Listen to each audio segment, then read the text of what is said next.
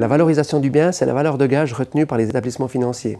Celle-ci peut être effectuée par un expert de l'immobilier ou par des logiciels de comparaison de prix. Cette deuxième solution est de plus en plus utilisée par les établissements financiers. Cette estimation varie d'un expert à l'autre car chacun a sa propre méthode de calcul. Et les critères qui sont utilisés sont en abondance parce qu'on a notamment les mètres carrés, le volume, le terrain ou encore la localisation du bien. Et en fait, les calculs qui sont euh, utilisés pour déterminer euh, les fonds propres nécessaires ainsi que le ratio charge-revenu se basent sur le prix de vente. Mais encore faut-il que ce prix de vente soit en adéquation avec l'estimation de la valeur du bien.